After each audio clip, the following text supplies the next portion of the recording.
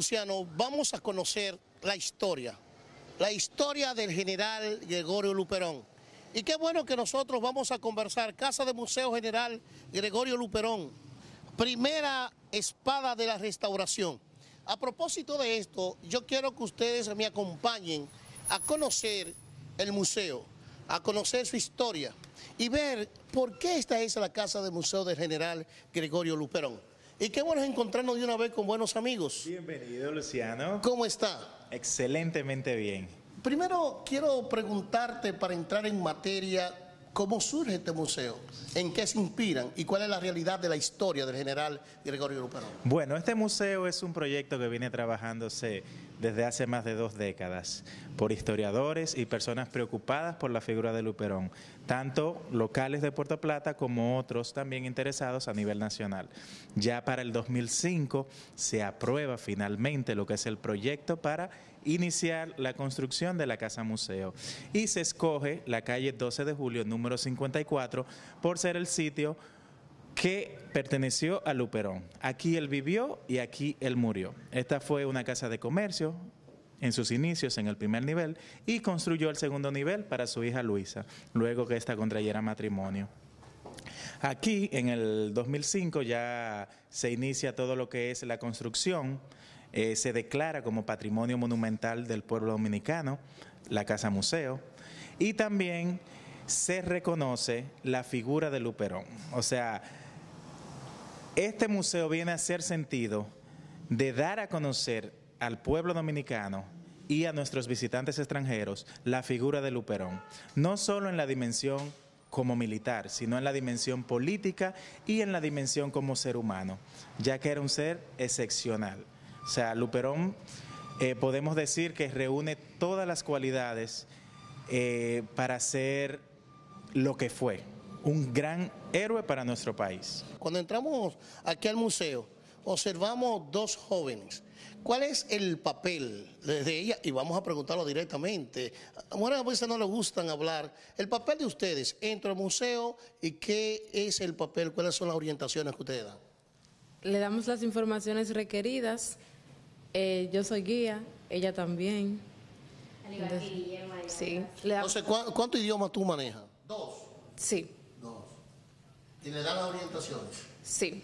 ¿Cómo te sientes? ¿Cómo fue estar en este museo del general Gregorio Luperón vestido a lo ¿Qué, ¿Qué tú sientes cuando vienen a preguntarte por la historia? Bueno, yo me siento eh, súper complacida a darle la información a todo el que venga aquí, ya que imagínense, Luperón fue eh, puertoplateño y qué más que yo me sienta orgullosa de compartir la historia del general con todo el que venga preguntando por él. Bueno, un poquito más tarde estaremos ya buscando los, los nombres de ella porque hay que ponerlos ahí en, en, su crédito eh, total. Bueno, en De Tour con Luciano para Teleunión desde Santiago, para todo el país y a nivel internacional, porque es un canal internacional, vamos ahora a entrar ya en materia. Y estamos acá, vamos a hacer el tour y nos vamos a encontrar de inmediato con lo que viene siendo el guía que nos va a guiar, no solamente aquí, sino en la historia del general. Muy buenos días, ¿cómo está? ¿El nombre tuyo? Guillermo. Guillermo. Guillermo, yo quisiera dejarte ya sin muchas preguntas, que tú comiences a caminar conmigo aquí, que nos vayamos al tiempo, que nos traiga el espacio y que nos presente el momento histórico del general Gregorio Luperón. Encantado. ¿Con qué arrancamos? Podemos empezar dirigiéndonos a aquella época, lo que fue el 1800, época en la cual Luperón nació y murió aquí en Puerto Plata. Para ubicarnos podemos ver esta parte acá, en la cual recreamos la vestimenta formal empleada antes por la clase media. Destacamos fotografía de la época también, a la derecha ya, donde verá la parte rural de Puerto Plata, para ubicarse mejor en ese siglo. Y acá la parte urbana o citadina, para digamos entrar en lleno en Puerto Plata para aquella época. Con la historia del héroe, él nació aquí en Puerto Plata el 8 de septiembre en el 1839. Una familia muy humilde, madre soltera, seis hijos en un campo un poco difícil. Su madre fue Nicolasa Duperron, apellido francés, el cual Luperón desde pequeño por amor a la patria lo cambió a Luperón, la versión actual y la más dominicana. Tuvo cinco hermanos y él es más pequeño, pero tuvo que vender dulces, fruta, agua, panes, pescar, para, digamos así, apoyar a la familia en su sustento. Recrearemos en esta parte acá el ambiente que simula el lugar en el cual él creció con su familia. Su madre poseía un ventorrillo, se dedicaban a hacer dulces, panes y venderlo, razón por la cual aquí recreamos una cocina para aquella época. Podrá ver a la izquierda el elemento principal, que era el pilón, que era para moler el café, maíz y arroz para aquella época. Es lo más fácil de reconocer para aquel entonces. Tiempo después, para hacer el café, pasamos a esta parte, justo aquí, donde podrán recrear lo que era el colador para aquel entonces. Un, un, artefacto bastante sencillo pero muy eficiente. Hasta la fecha hace el mejor café en los campos. Después lo que podrá ver encima de esto, acá, es el molinillo, que para aquella época era una licuadora para aquel entonces. Acá a la izquierda destacamos lo que es un filtro de agua, con lo cual purificaban el agua para aquel entonces. El famoso fogón para cocinar, carbón, la batea debajo, la cuava, y representa en sí el ambiente en el cual Luperón creció, en una familia muy humilde y sencilla. Bueno, eh, cuando, cuando, cuando, me habla de, de, esta parte fundamental, observamos aquí algunas botellas, ¿verdad? Eh, eh, ¿Qué eran en sí? ¿Qué, ¿Cuál era el contenido de esa botella? Generalmente se empleaban para guardar aceite y en otros casos agua, pero más para el aceite para las lámparas, por así decirlo. Correcto. Entonces nosotros vamos a continuar. Estamos en la sala 1. Exacto, en la primera sala. En la primera sala.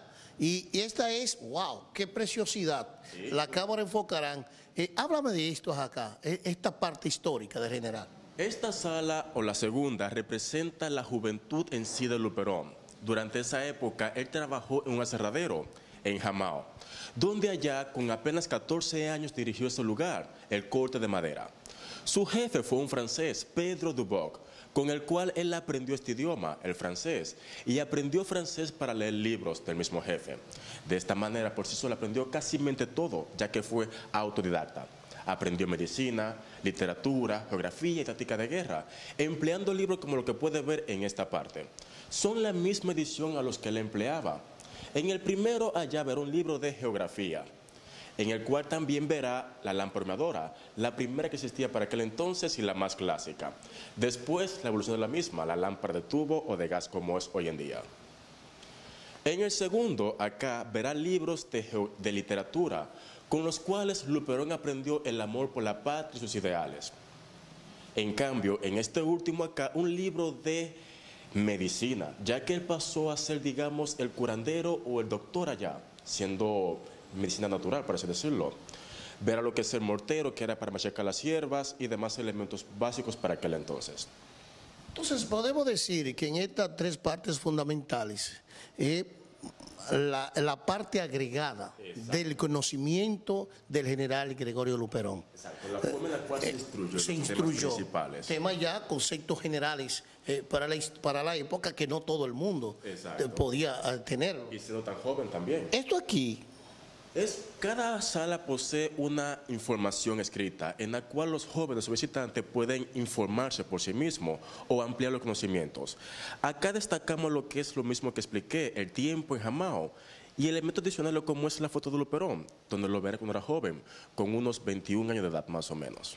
Bueno, vamos a continuar y, wow, qué precioso está eh, el, el, la estatua. Eh, antes de que me entre en el concepto histórico, y, y yo quisiera que el señor camarógrafo me enfoque, yo personalmente tengo una duda, porque varios historiadores dicen, bueno, el caballo siempre si tiene una pata, porque así que le dicen los caballos, una levantada o en el suelo como murió. Es, ¿que ¿Conoce de eso? Por supuesto que sí. En el museo debemos informar respecto a todo.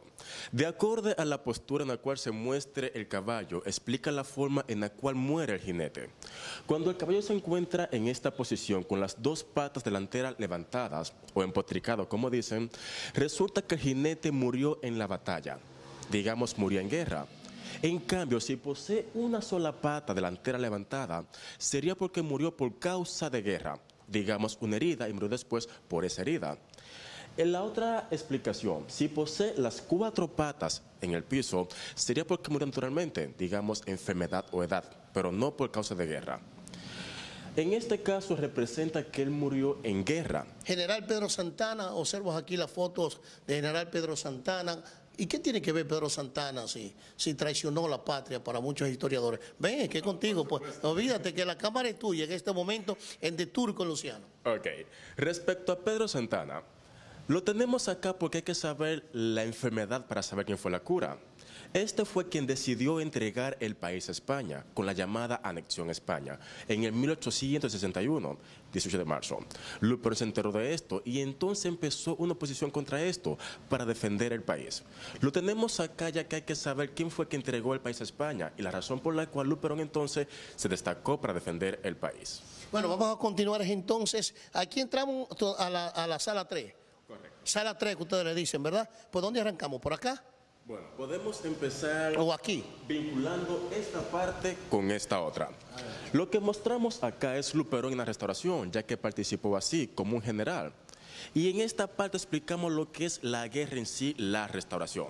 16 de agosto del 63 hasta el 65. Durante esa época de dos años, Luperón pasó de ser, digamos, un simple civil a ser el militar más importante, ocupando rangos como generales, comandantes, general de brigada e incluso general en jefe del sur y del este en todo el país, ya que Luperón fue, digamos, el principal líder dominicano en defender el país contra España. Participó en el país entero, en la parte céntrica, e hizo frente a España completamente. Presentamos los elementos que se empleaban para aquella época para hacer la guerra. En forma gráfica, en esta parte las armas españolas, que eran los mosquetonizables, y en la derecha haya el arma dominicana, que eran los machetes, armas de reglamento del dominicano en el campo. Los dos frente a la canasta son de aquel entonces y verán el arma original de aquel entonces, con lo cual se hacía la guerra. Botellas para llevar el agua, para las guerras y también el aceite, y los baúles para alimento y municiones. En cambio, hay atrás una forma interactiva donde cada general que participó en la guerra explica su propia historia. Destacamos las figuras más importantes, como es Luperón, Gaspar Polanco, Salcedo, los más importantes que participaron en esa guerra. Bueno, pero partiendo de, de- de esto que nosotros observamos, era desigual la lucha. Muy desigual. Estamos hablando de machete contra, contra Exacto. rifle, ¿verdad? Rifle o fusiles. Eh, fusiles, carabinas, varios nombres. Era muy desigual, pero la ventaja está en que Luperón fue un gran líder y empleaba táctica de guerras muy eficiente. Guerra de guerrilla. Exactamente. Entonces, eh, esto, esto, ¿qué es esto? ¿Dónde él guardaba las armas o las ropas? Eh, Exacto. Digamos que le dicen a Luperón, hay una guerra en Santiago. Para aquel entonces había que irse a pie o a caballo, llevar municiones, agua y alimentos. Había que cargar con todo eso en baúles, en mulas o caballos, rumbo a Santiago. Y, y aquellos sombreros, sombrero, ¿verdad? Corríame el término. eh, ¿Lo usaban en la época o lo que andaban con en la guerra? Bueno, verá, la guerra se hizo más bien por campesinos. Los que participaron en él fueron campesinos. Y el campesino sin el sombrero no nada. O sea que por reglamento tenía que andar con su sombrero, su machete y así defender el país a valor. Bueno, vamos a continuar entonces. Eh, ven, sí, aclárame cosas porque tú, tú no estás dejando solo. ¿eh? Quisiera agregar, cuando tú mencionas que había una desventaja, pero era una desventaja que a la vez era una ventaja, ya que el arma de reglamento española requería de un procedimiento para disparar. Carga y recarga, el cual consistía en insertar la pólvora, insertar el plomo, luego con una varilla se apretaba, luego se encendía, se disparaba y después había que tener un cubito con agua para enfriarla, para volver a disparar. Muchas veces, muchas veces hasta se pasamaban. Exactamente. Y esto fue lo que contribuyó al fracaso del ejército español, además de las tácticas de la guerra de guerrillas. ¿Por qué? Porque el arma dominicana, el machete, era de un uso sencillo, rápido y eficiente. A la vez que un español disparaba, ya el dominicano había volado 10 cabezas. Veo la bandera y, cuando la veo ahí digo, bueno, pero ¿cuál es? Yo sé el valor para la patria, pero en ese entonces, ¿por qué el valor de la bandera y por qué está acá, en este lugar? Bueno, la bandera era la parte más importante en esa guerra. Digamos que las tropas peleaban por lugares, ciudades o sectores, y en cada parte en la cual peleaban solían plantar la bandera dominicana para marcar esa parte como recuperada. Digamos que así sembraban como la patria en ese sector y así luchaban parte por parte, recuperando parte por parte del país hasta conseguirlo entero. ¿Y por qué la cantidad de bandera? ¿Tiene un símbolo la cantidad o es un agregado de- del museo? Mm, Bueno, la cantidad tiene varios significados. Las guerras que se hicieron, los pueblos que se conquistaron, las principales ciudades y también porque, digamos, representa las pérdidas también. La bandera es un símbolo nacional y siempre debe tenerse como lo más importante. Cuando hablábamos ahorita de- de- del general Gregorio Luperón y, y el- y- y la forma en que están paradas las patas, estamos hablando en el Museo del, del General Héroes. eh. Exacto. Aquí en el museo lo tenemos así porque representa la forma heroica de Luperón. Intentamos mostrarlo en su aspecto más heroico, como fue en la batalla. Digamos que fue un líder innato y lo mostramos acá de esta manera. Recordando tal como era. Exactamente. Vámonos con esto. Observamos aquí varias figuras históricas. Y yo quisiera que ambos, vamos acá, metan ustedes al medio, ambos me expliquen la importancia general, Gregorio Perón, general Pedro Santana. Eh, y yo estoy seguro que cuando mucha gente dice aquí, pero, Pedro Santana, que esto, ¿qué significa esta sala virtual? Exacto. Eh, y por qué la conjugación de los diferentes actores de la historia dominicana. Nos vamos contigo para terminar en la parte acá histórica. Esto es una sala interactiva donde cada personaje te cuenta su historia, su participación en la guerra restauradora. ¿Quiénes son ellos? Bueno, aquí está la parte opositora, anexionista, representada por Pedro Santana, quien vendió al país a España. Y ya vemos a Gregorio Luperón con sus hombres de confianza. Estos fueron quienes estuvieron apoyando y representando a Luperón en las diferentes batallas, lo cual garantizó el éxito, ya que Luperón era un estratega y también trabajaba en equipo. Bueno. Y estos eran sus hombres de confianza. Vamos entonces, eh, y yo quiero que el señor camarógrafo cuando pueda, yo quiero hablar, conocer un poquito más de la historia de General Gregorio Perón. Cuando viene el turista o cuando viene alguien, ¿qué es lo que debe de hacer acá? Muy sencillo, el sistema es bastante simple. Usted toca la pantalla y podrá, digamos, interactuar con el programa. Tengo que ponerme el, el- el audífono obligado. O sea, lo primero ponerme el audífono, ¿verdad? Y después toco la pantalla. Y así comienza a explicar. En esta, yo quisiera que tú me... Aquí está, yo quisiera que de inmediato este, tú me, me grabes eso y como ustedes conocen ya parte de lo que dice, me gustaría que me digan para el público que está viendo de Turco Luciano, ¿qué conversatorio en este momento estoy teniendo con el general Gregorio Luperón? Bueno, lo primero que informa es cómo se vinculó a la restauración. Este empezó el 16 de agosto y él empezó a participar en Santiago en septiembre 6, recuperando el fuerte San Luis. Tiempo después se traslada a Cotuí, donde pone un cuartel general. De ahí se desplaza al país entero, como es Santiago, La Vega, San Cristóbal, la capital. Relata sus, sus encuentros más importantes contra Santana en el Paso de Muerto y Río de Bermejos. Asimismo, relata su enfrentamiento contra Buceta, dirigente español. Lo más importante acá es que explica la, la razón por la cual peleó, su amor por la patria, ya que se considera dominicano y por tal razón defendería el país hasta la muerte. Bueno, ahí está la explicación. Luego de nosotros concluir en, esta parte fundamental de los conceptos históricos de este importante museo, que debo de insistir al país y al mundo que Puerto Plata nada más no es playa, no es montaña. Sí, Puerto Plata no es eh, otra cosa que simplemente venir a las arenas o a las playas. Puerto Plata es historia, Puerto Plata es cultura. Y nosotros estamos en De Turco Luciano buscando la historia, pero verdaderamente conociendo un poquito más de este importante museo que está ubicado precisamente en Puerto Plata y que nosotros estamos llamando al país para que venga a visitarnos en este museo. Vamos a continuar de Turco Luciano porque hay otras cosas más importantes. Claro, todas son importantes, pero ahora vamos a ver al general Gregorio Luperón ya desde el punto de vista de la familia. Así que continúen con nosotros para que conozcan otros aspectos más de la historia de este hombre que formó parte de la patria dominicana.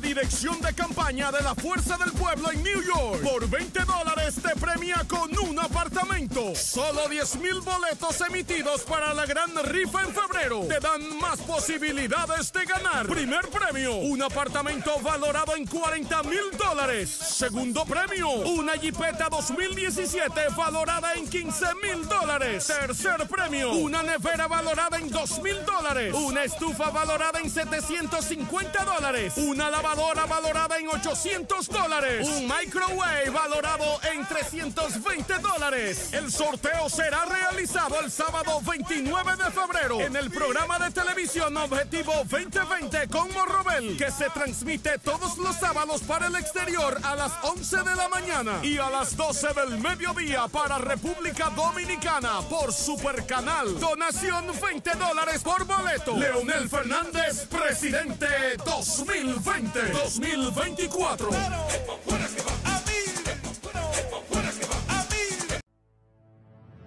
El Comité Pro Homenaje a Gregorio Urbano Gilbert te invita a honrar por todo lo alto la memoria de este gran héroe puertoplateño. El viernes 10 de enero del año 2020, Día Nacional consagrado por la Ley 162-2019, a resaltar cada año su patriotismo y su espíritu internacionalista. Expresa tu legítimo orgullo de tener un patriota internacionalista de la talla continental como Gregorio Urbano Gilbert, participando en los actos que serán realizados en su honor el viernes 10 de enero en la Plaza Independencia, en la Catedral San Felipe Apóstol, en el vistoso desfile escolar y en la rotulación de la calle que llevará su glorioso nombre. Invita el Comité Pro Homenaje al héroe nacional Gregorio Urbano Gilbert. Queremos darle la bienvenida a Riverside Veterinary Clinic. Sí, es su lugar donde usted recibe todo tipo de cuidado para sus mascotas. Así que si usted es a pet lover como yo, pues vaya y lleve su mascota ahí. Está ubicado en el 175 de Broadway y contamos con la ayuda del doctor veterinario Javier Ramos. Como le dicen en el Alto Manhattan, las manos de ángel. Lo tengo comprobado. Yo tengo una perrita. Y si usted dice que Opción y yo los envía, diga que le den su descuento. Así mismo es, es un secreto, pero vayan, vayan ahora corriendo a Riverside Veterinary Clinic, ubicado en el 175 de Broadway. Toda la información está aquí debajo. Hace cinco décadas, un inmigrante como tú llegó con una idea.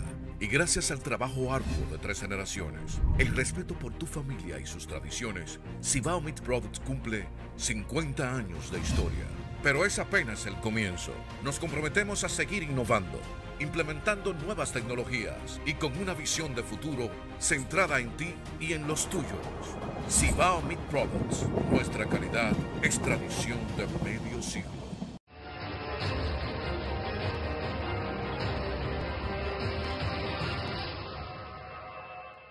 Hay que destacar que el general Gregorio Luperón y lo que nosotros estamos subiendo es una obra arquitectónica al estilo victoriano destacar el concepto.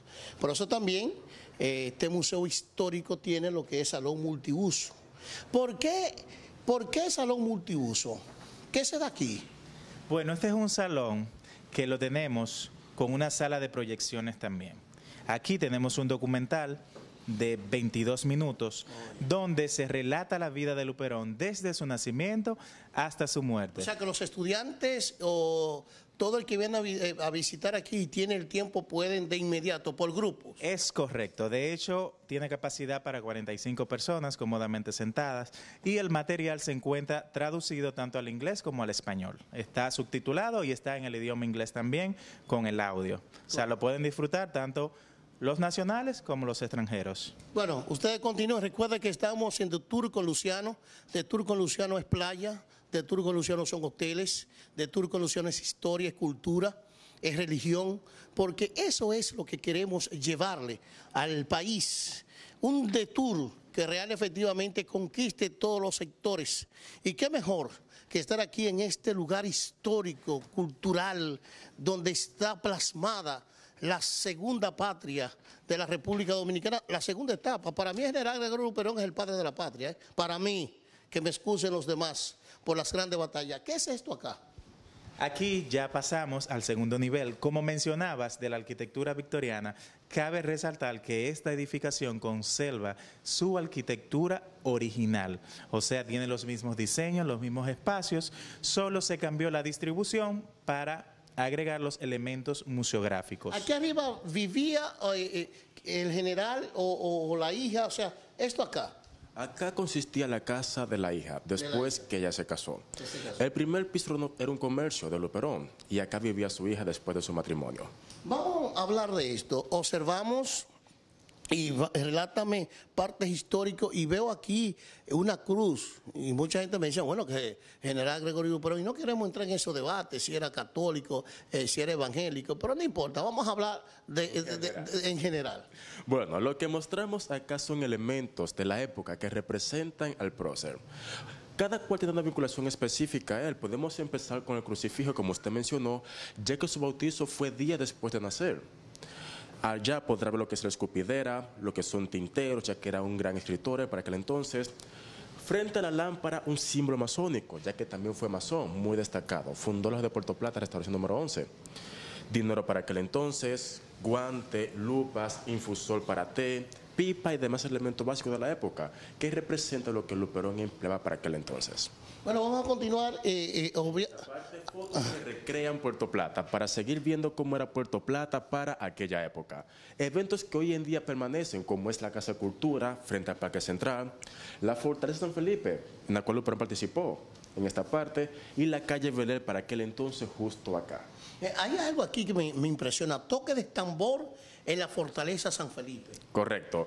Digamos que para alzar la bandera se hacían estos actos, o sea, el dominicano con su, con su patria es afamado, o sea, en la bandera era lo más importante y hacían fiestas con esto, para así decirlo. Continuamos entonces, aquí fotografía de, de, del... Familia Ayuberas. Fue una familia que apoyó a Luperón en la guerra contra Báez, ya que este fue un presidente muy dictador y Luperón siempre defendió el país contra la patria contra presidentes dictadores y demás. ¿Y allá entonces tenemos hijos de quién? De Máximo Gómez, un gran prócer, por así decirlo. Arriba José Joaquín Pérez. Personaje de la época que defendió al país, por así decirlo, con grandes ideales. ¿Y abajo? Una joven destacada para aquel entonces. La señora Adriana de Castro. Correcto. Bueno, ahí está. Hijo del general Máximo Gómez. Ya ustedes conocen eh, la historia de Máximo Gómez y el, pacto de Montecristi con José Martí. Máximo Gómez le preguntó a forma de chance al joven José Martí, cuando vino, José Martí, cuando vino a plantearle la revolución cubana, ¿y qué me van a dar? Y José Martí le contestó, Máximo, la ingratitud de los pueblos. Continuamos entonces eh, con el general Máximo Gómez, eh, José Martí, a propósito de lo que estamos hablando eh, con ellos. Y de general Máximo Gómez tendremos que ir a Cuba para hacer otros conceptos históricos. Sí, porque allá hay muchos monumentos dedicados a, general Máximo Gómez, que fue el general de los generales, junto a Maceo. Que por cierto también tenemos que hacer un tour en la casa donde Maceo vivió aquí en Puerto Plata, que eso es otra historia. Aquí estamos en presencia de qué? Objetos en aspecto femenino que representan a su familia, tales como la esposa, la hija y después su nieta. Estos elementos son un poco más para vincularse a aquella época y lo que tenía su familia, por así decirlo. Desde velas de la época a su izquierda, platos decorativos, broches para la blusa, cinturones, camafeos, decoración de la casa de más elemento básico que recrean la vida que Luperón tuvo después de la guerra. Bueno, continuamos entonces y aquí estamos en presencia de eh, la joven vestida de novia. Háblame de eso y la fotografía de las jóvenes de la época. El museo más que historia de Luperón intenta recrear Puerto Plata para aquel entonces. Las fotos que mostramos acá hacen, digamos, un acercamiento a Puerto Plata para aquella época. Aquí vimos la vestimenta formal empleada antes para que los jóvenes puedan, digamos, diferenciar entre hoy en día y el ayer de Puerto Plata. Claro, esa era la clase media. Exacto. Esta una etapa muy importante en la vida de Luperón, sus viajes a Europa. A partir de 1882 viajó en un aspecto más diplomático. Fue nombrado como ministro plenipotenciario en Europa, quien representó el país en diferentes países de Europa. Francia, Londres, otros sectores. Lo más destacado que Luperón llegó a hacer en esa época fue restablecer la amistad con el Vaticano. Introdujo al país en la Unión Postal Universal y también la Unión Latinoamericana. Fomentó el comercio con América y también con Europa para aquel entonces. Recreamos París en esta parte, ya que pasó mucho tiempo allá, tanto así que obtuvo la Legión de Honor en París. Y la vestimenta en la cual la vestimenta de cómo vestía su esposa e hija mientras estaban allá. O sea, que eso representa a su esposa y a su hija en el momento en que estaban en París. Específicamente a Luisa Luperón, su hija. A Luisa. Observamos entonces los adornos al explícame. Esto hace referencia a la decoración europea, especialmente París, con los cuadros en columnas, les Champs-Élysées en la ventana, los campos elíseos. Intentamos que el puertoplateño vea, vea cómo era Luperón en Europa. Y Puertoplateños y el mundo. El mundo entero. Presenciar lo que Luperón vivió para aquella época en Europa. Entonces, vamos a continuar de esta sala.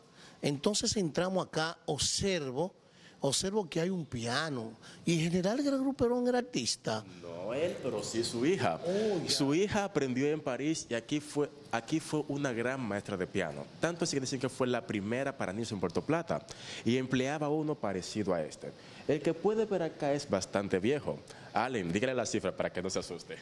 Bueno, ¿qué te digo? Este piano tiene más de 200 años y, y, lo especial que tiene es que está en perfecto estado, tanto así que hacemos recitales de piano y noches de época, donde nos engalanamos con una preciosa música que viene de este piano. Vamos a ver, eh, señor director, si usted me enfoca el piano.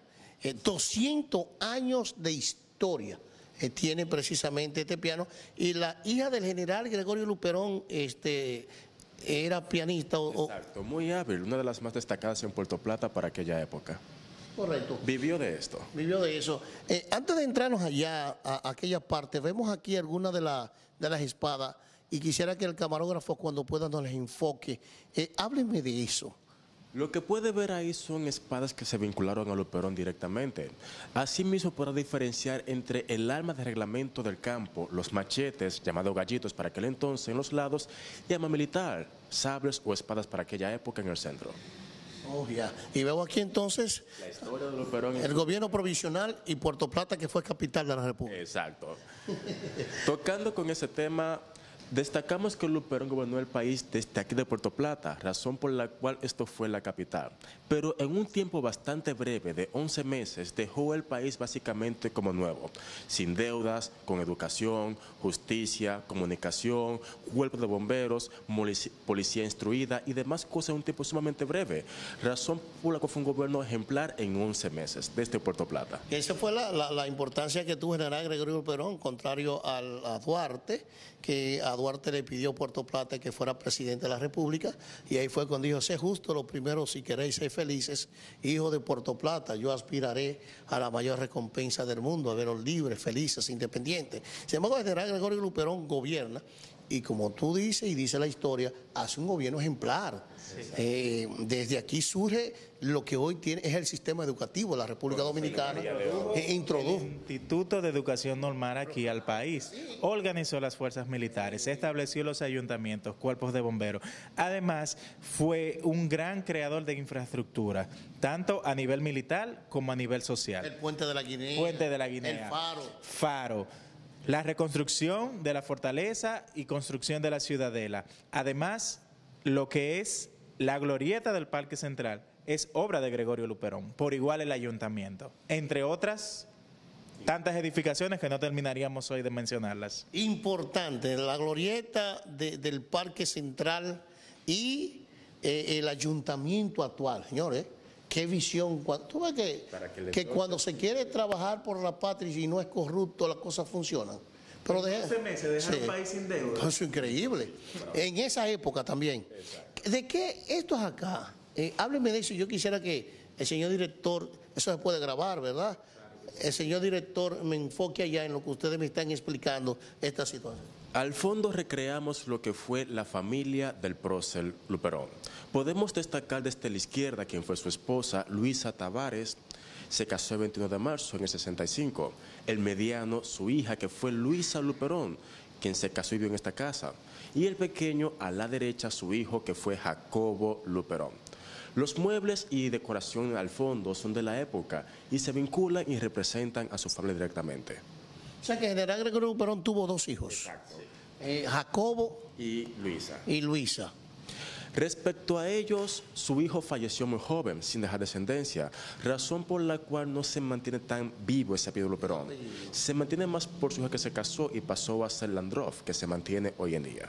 Ya, O sea que muchos de los andros de Puerto Plata, no lo duden que sea de la, de la ascendencia. Sí, son descendientes. descendencia. Nosotros vamos en este de tour, en la parte histórica, cultural de Tour con Luciano, vamos a continuar acá en una parte que a mí me llama mucho la atención, el problema de la casa, o sea, cómo se dormía, el tipo de, de- de- de ropas, de sábana y, y- y- y de cama. Acá yo quiero que ustedes me expliquen y todo eso, que el camarógrafo nos va a ayudar, lo que ustedes me explican con las imágenes. Eh, Adelanten. Podemos empezar por este espacio en el cual recreamos el momento en el, en el que Luperón se opuso a su mejor amigo y discípulo, que fue Ulises Eros, alias Lilis, que mostramos en esta parte. En introducción, Luperón fue su mejor amigo y hasta maestro. Pero en su gobierno, Lilis fue un poco diferente a Luperón, estableciendo una dictadura, una dictadura por mucho tiempo. Razón por la cual el proceso se opuso a su mal gobierno. Tiempo después, por mantener la relación entre ambos y evitar una disputa mayor, optó por el exilio y no participar en su gobierno, razón por la cual dejó el país rumbo a Saint Thomas. Desde la mecedora allá atrás hasta la silla en este espacio son muebles que se vinculan a Lilis en su oficina presidencial y el momento en el cual Luperón se opuso a su mal gobierno. Que hay que, que hay que destacar, agregándote un poco, que general, eh, que Lili era uno de, de- de su lugar teniente en una época determinada. de los más cercanos, y que muchos historiadores señalan que el general le decía, yo quiero que algún día, y decía, basta con que usted sea. y después el general Lili, pues traiciona al general Gregorio Luperón, pero al final eh, va y lo busca. Lo Exacto. Al final la relación y la amistad prevalece ante los ideales políticos y va y busca a su maestro, por así decirlo. Esto acá. Esta, la misma cama que perteneció a su hija Luisa Luperón. Ella era un poco pequeña, razón por la cual la cama es pequeña, ya que lo hizo a medida para ella, o sea, la mandó a hacer específicamente para ella. Como se hacía en la época. Exacto. Relata que dormían separados para aquel entonces, razón por la cual digamos que era una cama solamente para una persona. Bueno. Era diferente hoy en día. Era diferente en día. Bueno, ahí está. eh, todo esto, eh, esto me representa a mí entonces la sala íntima de la familia. No, representamos dos partes, conflicto con Lilis y parte íntima de la familia. Entre la familia. Entonces nosotros vamos a continuar aquí en The Tour eh, con Luciano. Vamos a conocer algunas de las eh, expresiones en los libros del general Gregorio Luperón. Eh, ser justo es sufrir por aquellos que no lo son. Dios mío. Siguiendo con la historia, después de que Luperón dejó el país rumbo a Saint Thomas, allá enfermó gravemente, varias causas, tanto así que obtuvo una infección en la garganta, convirtiéndose esto en un cáncer en su mandíbula o garganta. Casi murió allá hasta que Lilis fue a buscar a Saint Thomas, como bien mencionó usted, de tal manera que Luperón regresó al país. La historia es un poco divertida ya que él vino en un barco aparte, o sea, el honor fue tan grande que vino en un barco separado, pero regresó al país y falleció en esa casa, cuando su hijo la atendía, en el 1897. Antes de pasar a su muerte, lo que mostramos acá, pensamientos importantes de él, sus principales ideales que tienen sobre la educación, política y libertad del país. Quien no defiende su patria comprometida en su independencia, indigna de tener más nacionalidad. La grandeza de la nación no depende de la extensión de su territorio ni del número de sus moradores, sino del carácter nacional. Esos eran los principales pensamientos que él tenía. Pero lamentablemente... Escúchame, me gusta mucho esta. El que ama la patria no puede comprometerla, no puede venderla, traicionarla, sino servirla y defenderla. Se ajusta, óyeme, como si fuera ahora que estuviéramos viviendo la época. ¿eh? Muy cierto. Hay uno que me encanta a mí, Ah. que es este que está acá. Va- vámonos. La política es una ciencia, más que muchos pillos aventureros solo la consideran como una ocasión de lucro. Oye, eso. Esta y aquellas expresiones del general Gregorio Luperón se ajustan a la época. Muy, muy interesante. Aquí concluye, concluye o hay otra fase fundamental eh, de, de- de- de este museo. Bueno, aquí ya explicamos lo que es su muerte y su apoteosis, como tal se llama la sala, ya que Luperón, luego de, su muerte, 33 años luego, su cuerpo es llevado hacia Santo Domingo, hacia el Panteón Nacional.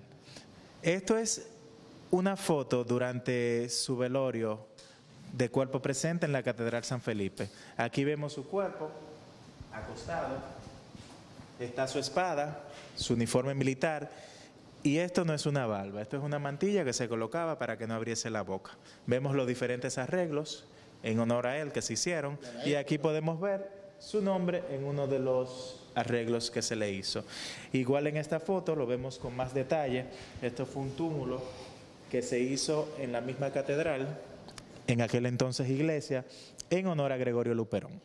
Para los amigos que siguen de Turco Luciano, estamos en presencia que el general Gregorio Luperón nació aquí, peleó aquí y en el país, pero murió. O sea, que cuando nosotros vamos a la iglesia, a la catedral de Puerto Plata, ahí está la presencia del general Gregorio Luperón, me lo corrigen.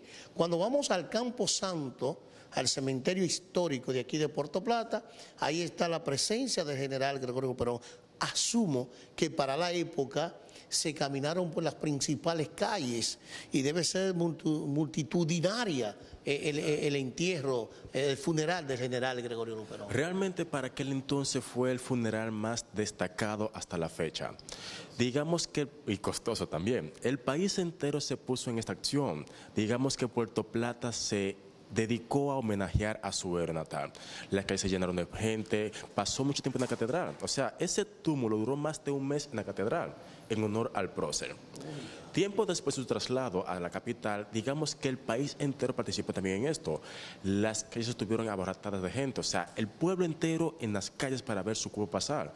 Le hicieron homenajes, desfiles, charlas y demás acciones para darle honor a quien fue héroe de la restauración para aquel entonces. Podemos decir, eh, si ustedes les recuerda la memoria histórica, el general muere en- en la fecha. ¿Y cuándo, conocen ustedes cuándo trasladaron al general Gregorio Luperón hacia Panteón, a la capital?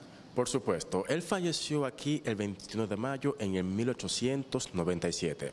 En agosto de 1926 es trasladado a la, cata- a la ca- a la capital y tiempo después es llevado al Panteón Nacional en el 1950 y algo. O sea, que fue en el gobierno de Hor- Horacio, Vázquez. Correcto, Horacio Vázquez. correcto. Con la ayuda de Bupulimardo, quien fue uno de los precursores de esta acción, para que se reconociera a Luperón como merecía. Como merecía. Se Me- puede ver acá sí, también sí. este momento. Eh, eh, Este otro momento, ¿está el general con quién?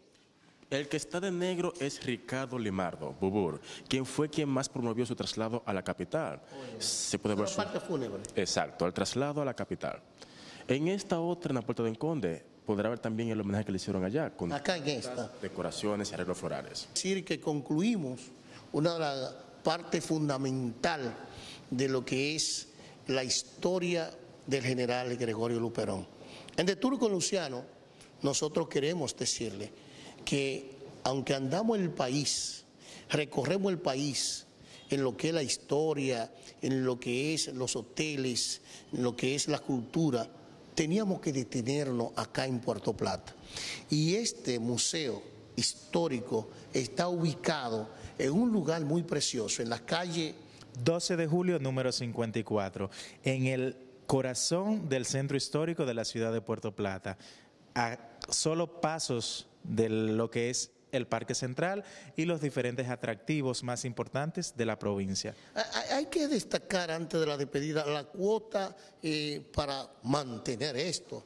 Eh, que yo no quiero ya entrar en la parte crítica po- porque no, porque daño después tour. Eh, ¿Qué se paga para entrar? No se paga, sino que se colabora. Bueno, tenemos una tarifa establecida eh, tanto para estudiantes, quisiéramos que fuera gratis, pero el mantenimiento es costoso, el precio es de 35 pesos, el público en general, niños 50, adultos 100 pesos. He visitado frecuente, háblame de, las personas eh, que vienen acá, si vienen del país, si los estudiantes y los profesores se preocupan para que estos y estas vengan acá. ¿Cómo acogen los turistas que vienen a Puerto Plata este importante museo?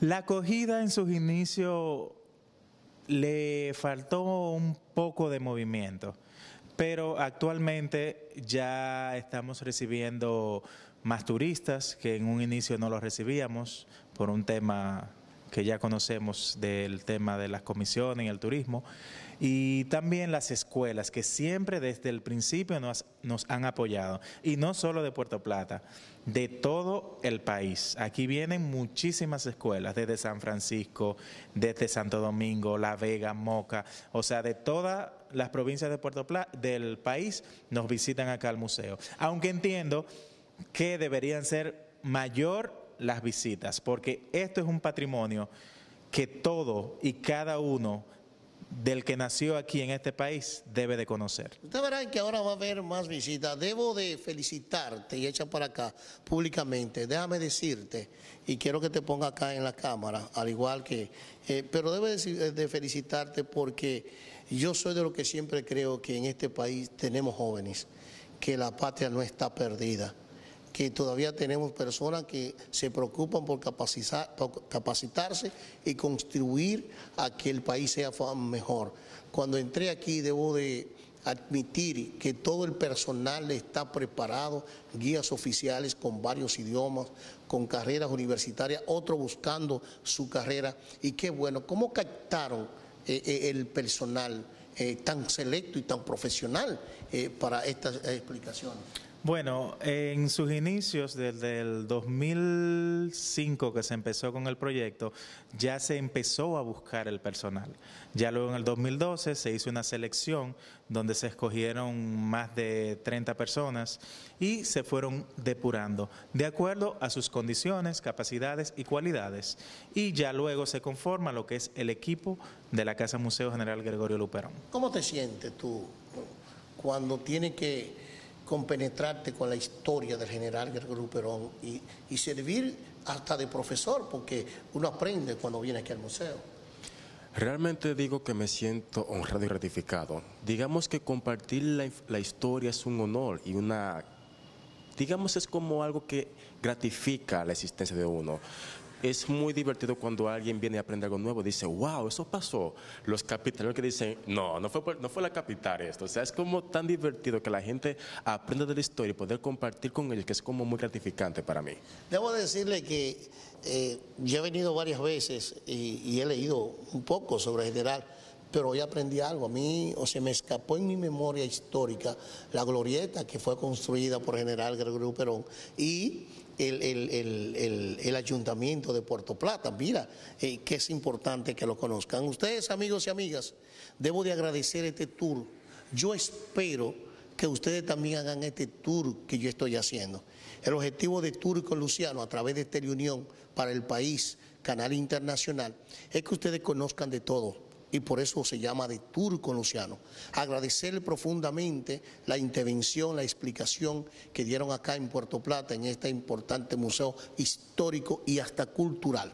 Así que a ustedes muchas gracias, nos vemos el próximo domingo de 8 a 9. Quiero destacar que en cámara y en edición está Melvin González, la colaboración de Diome Hilario y, como no, como siempre, mi adorada esposa que se encarga de todo, de maquillaje y todo, Elaine Jocelyn Tavares. A ustedes muchísimas gracias y los esperamos el próximo domingo de 8 a 9, a 9 en otro tour de Luciano.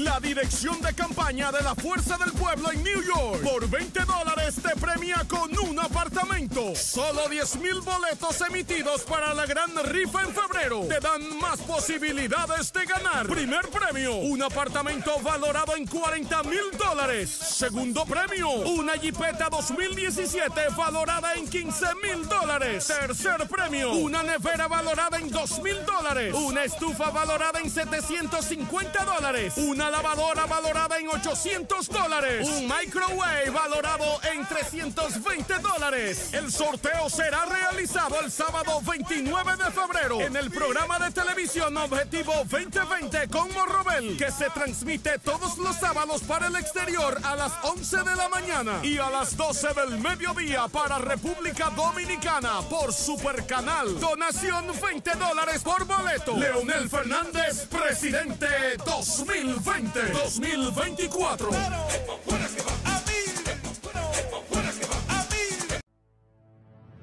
El Comité Pro Homenaje a Gregorio Urbano Gilbert te invita a honrar por todo lo alto la memoria de este gran héroe puertoplateño. El viernes 10 de enero del año 2020, Día Nacional consagrado por la Ley 162-2019, a resaltar cada año su patriotismo y su espíritu internacionalista. Expresa tu legítimo orgullo de tener un patriota internacionalista de la talla continental como Gregorio Urbano Gilbert, participando en los actos que serán realizados en su honor el viernes 10 de enero en la Plaza Independencia, en la Catedral San Felipe Apóstol, en el vistoso desfile escolar y en la rotulación de la calle que llevará su glorioso nombre.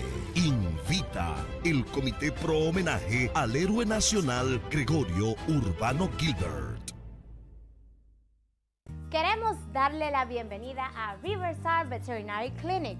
Sí, es su lugar donde usted recibe todo tipo de cuidado para sus mascotas. Así que si usted es a pet lovers como yo, pues vaya y lleve su mascota ahí. Está ubicado en el 175 de Broadway y contamos con la ayuda del doctor veterinario Javier Ramos. Como le dicen en el Alto Manhattan, las manos de ángel. Lo tengo comprobado. Yo tengo una perrita. Y si usted dice que Opción y yo los envía, diga que le den su descuento. Así mismo es, es un secreto, pero vayan, vayan ahora corriendo a Riverside Veterinary Clinic, ubicado en el 175 de Broadway. Toda la información está aquí debajo. Hace cinco décadas, un inmigrante como tú llegó con una idea. Y gracias al trabajo arduo de tres generaciones, el respeto por tu familia y sus tradiciones, Cibao Meat Products cumple 50 años de historia. Pero es apenas el comienzo. Nos comprometemos a seguir innovando, implementando nuevas tecnologías y con una visión de futuro centrada en ti y en los tuyos. Cibao Meat Products, nuestra calidad es tradición de medio siglo.